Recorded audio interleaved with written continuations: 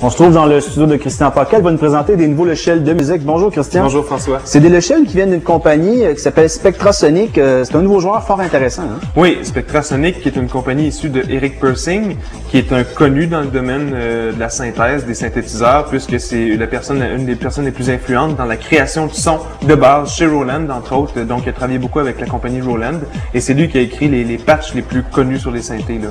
Et là, nous arrive avec des produits comme Atmosphère, Trilogy, qui on doit dire sont pas des produits autonomes qui vont devoir être utilisés avec des séquenceurs. hein. Oui, c'est des, effectivement. J'aurais peut-être aimé que ce soit des modules autonomes, mais il faut absolument que ce soit hébergé, accueilli par un logiciel comme Cubase, Pro Tools, Logic, euh, Performer. Donc, euh, c'est des plugins.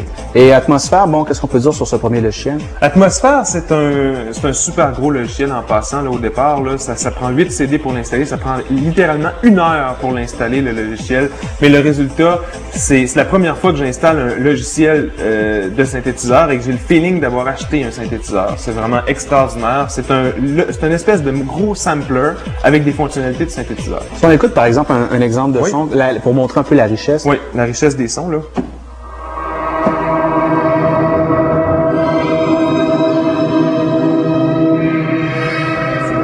Et on doit le dire, ça prend énormément de mémoire vive pour justement traiter des sons comme ça. Effectivement, au départ, ça prend minimum 512 MB allouable à l'application, donc plus, plus de 512 MB. Donc ça prend beaucoup de place. Par contre, c'est pas gourmand sur le CPU, ça m'a surpris. On pourrait facilement dans le séquenceur appeler plusieurs atmosphères en même temps, puis ça va jouer très très bien. Et là, on a une très vaste euh, librairie de son. On peut peut-être changer son pour en voir Oui. un autre dans un autre genre. Mais ce qu'il faut dire, là, c'est que Eric Persing lui-même garantit que ces sons-là, dans le fond, là, sont libres de droit. On peut les utiliser. Ça- C'est pas quelqu'un, genre, qui a pris sur Internet quelques sons échantillonnés. Non, hein. ça c'est super important de le dire. Ils ont fait une grosse grosse session d'enregistrement où ils ont fait ils, ils ont fait littéralement à peu près 4 gigs de matériel, de matières premières qu'on croise ensemble, qu'on mélange, qu'on travaille, on travaille les ondes, on travaille les modulations et on en arrive à des sons qui sont euh, jamais entendus là, des choses, des sons qui sont euh, on peut avoir des sons qui paraissent plus de base comme ça, mais qui sont authentiques, des sons authentiques de vieux synthé- synthétiseurs d'époque.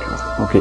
Et ça, évidemment, ça vient avec, on, on a vu l'interface un peu, ça vient avec certains ajustements. Mais à la base, bon, ça prend un ordinateur avec un clavier, on est en MIDI, tout ça. Oui. Et euh, c'est assez facile à utiliser quand même. Oui, assez facile à utiliser. Les fonctions de base sont là. Euh, par exemple, travailler la fréquence du son. euh, on a des oscillateurs, on a différents modulateurs. C'est très, très complet. Là. En soi, c'est un synthétiseur, mais on travaille avec des échantillons de bonne qualité. Puis Trilogy, lui, euh, c'est un logiciel spécialisé dans les basses, je crois. Oui, Trilogy, ça rend hommage aux trois types de basses qui existent. Les basses acoustiques, les basses euh, pas branchées, euh, les basses électriques de, de groupes de, de musique rock et ainsi de suite, et les basses générées à partir de synthétiseurs. Donc, c'est les trois grandes basses qui existent. Puis ça, bon, évidemment, encore une fois, ça prend un autre logiciel qu'on appelle un séquenceur pour pouvoir l'utiliser. C'est Oui. pas autonome non plus. Non, c'est pas autonome. Donc, je pourrais travailler avec Trilogy sur une piste MIDI numéro 1 qui irait chercher la base de Trilogy et une piste MIDI numéro 2 qui irait chercher les synthétiseurs. Bon, on va peut-être écouter un genre de percussion euh, de basse, par exemple, ça. Oui, exactement. Donc, je vous fais entendre un, un départ.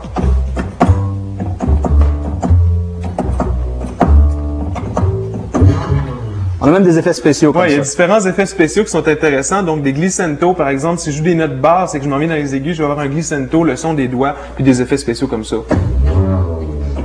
À qui s'adressent vraiment ces logiciels Est-ce que c'est professionnel, Christian? C'est des logiciels très professionnels. C'est la première fois, moi, pour ma part, que j'entends un logiciel sonner autant là, comme un vrai logiciel. Je, je- je suis de l'école aussi de ceux qui croient qu'un vrai synthétiseur, ça sonne plus qu'un synthétiseur logiciel. Mais dans ce cas-là, je suis obligé de reviser mon tir. Là, ça sonne vraiment, vraiment bien. Donc, des belles trouvailles? Très belle trouvaille, François. Merci, Christian. Merci.